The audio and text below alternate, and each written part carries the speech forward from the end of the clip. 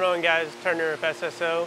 So you just got your Slimline Hybrid reversal bumper and you need to know how to install it. Uh, today I'm going to be showing you how to do the cuts and what tools you're going to need along for this process. So this customer came in, he uh, has a full plate bumper, but uh, we're just going to be doing the slimline cuts because you have to do that anyway for a full size bumper. Um, these are the tools that you're going to need if you want to have a uh, impact uh, impact gun or you can just use a uh, regular old ratchet wrench. Uh, we need a extension, half inch extension, 14 millimeter socket, and a 17 millimeter socket. I like to have a pin if you need to uh, draw a line for your cuts. Uh, one of these little things to get all the Brillos off after you do your cutting. One inch uh, blue masking tape. You got to make sure it's one inch or else you're to do your cuts wrong. I always like to have eye protection when you're to be doing cutting because, you know, things could get up in your eye. All right, so to get started, you're want to go ahead and grab your one inch uh, masking tape. And I usually like to start in the uh, middle of the bumper. You're want to get one side of the edge on this top line above the valence and just kind of follow that line all the way down.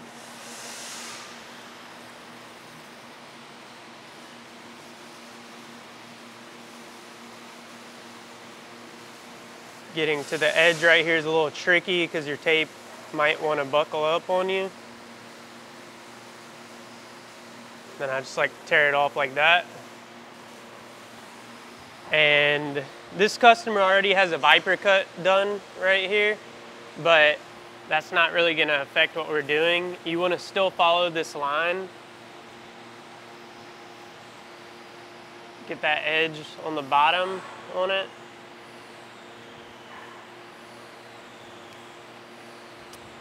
And then tear it off like that. Now, the tricky part here is for our bumpers, we need to go a quarter inch from the top point down here. And the way that I do that is I get the tape and I start right on the same line right here and then slowly start getting it off a quarter inch. So you see how there's a little gap right here. You want to go down. Make sure that's stuck and rip it off. And what I like to do is grab my pen and trace that edge that you see right there.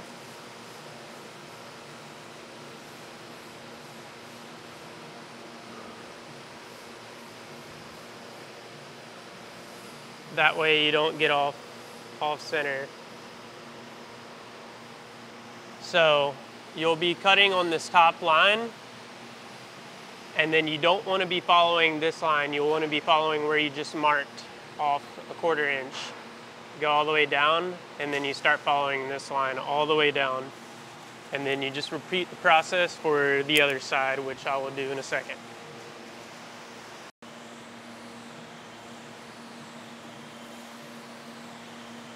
So you're about to make the first cut. Forgot to mention, you always want to wear gloves too because this stuff will be spitting up, uh, you know, scalding hot plastic on you. Um, but always remember, you're going to want to cut on the top line, never on the bottom.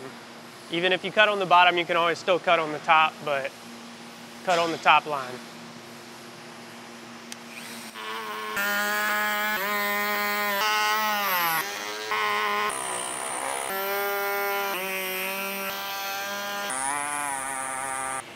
Going on guys? So you just finished your cuts. There's obviously some Brillos. That's why you get your little Brillo uh, shaver and you just kind of go off and uh, get that, rub it off. But we'll do that in a second. You need to take these two uh, bumper pieces off. Right here they have clips all the way around. You're gonna wanna push in and pull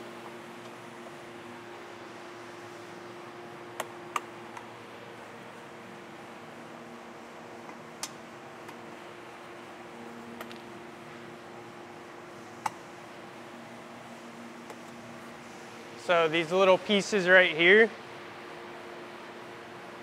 you want to pull down on each side and then start pulling away and it'll come off. On these, there's three nuts on each side. You're gonna wanna get your uh, wrench or impact gun with a 14 millimeter socket. Go ahead, take that off.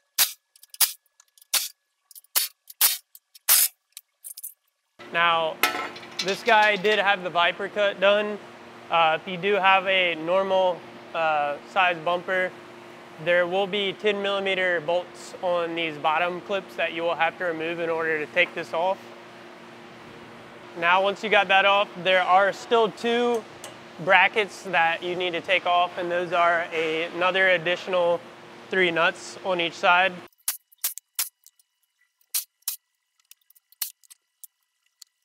And there we go. You will need to cut this uh, little plastic trim just a little bit, uh, depending on if you have a winch or not. Um, I normally just keep it in there and just kind of tuck it up a little bit. Doesn't really affect anything, but if you want to make that nice and cut, you're going to want to follow this line all the way back and uh, you should be good to go. All right, after you're done pulling off everything, it makes it a little bit easier to get uh, your little I don't even know what to call this thing, but it gets all the, uh, little shavings off. Uh, you're gonna wanna grab one of these and just kind of go at an angle.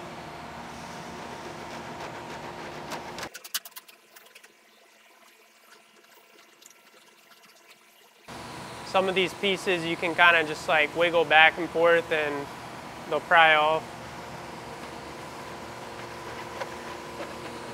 Just clean it up really good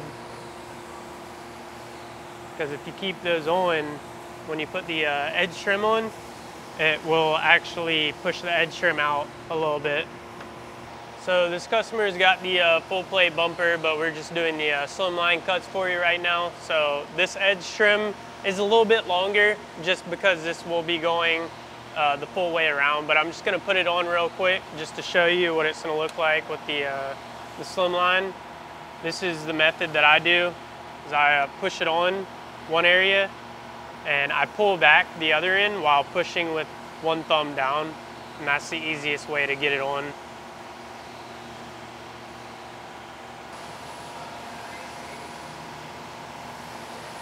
So after you got your uh, edge trim on, you're gonna wanna get that 17 millimeter socket and underneath here, these little uh, side pieces have one bolt underneath that needs to come out.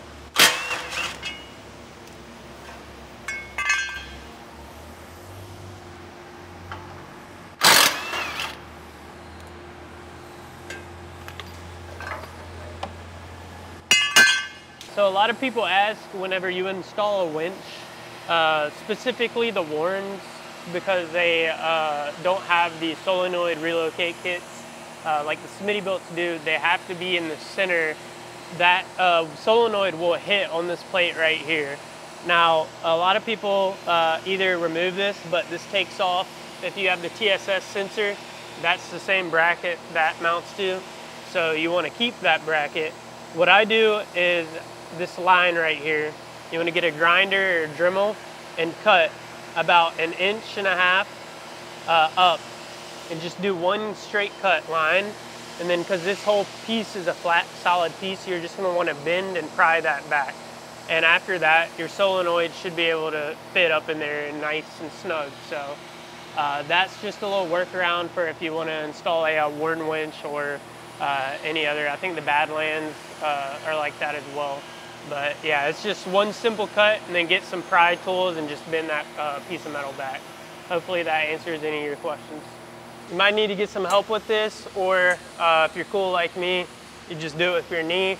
What I like to do is get it on one of my knees just kind of raise it up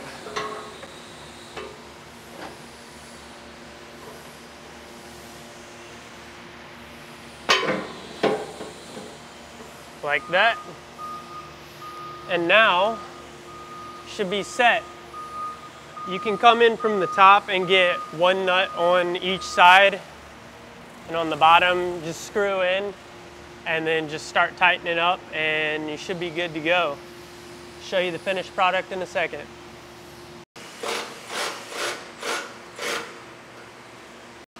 So you installed your bumper and it's having a gap on one side. We do have our holes on the, uh, the bumper slotted so you are able to move it if you loosen it up just a little bit. And you are able to pull your edge trim off just to close in that gap. And once you get it set to the way you like it, just go ahead and just tighten up all those bolts and you're good to go. You have a SSO slimline bumper.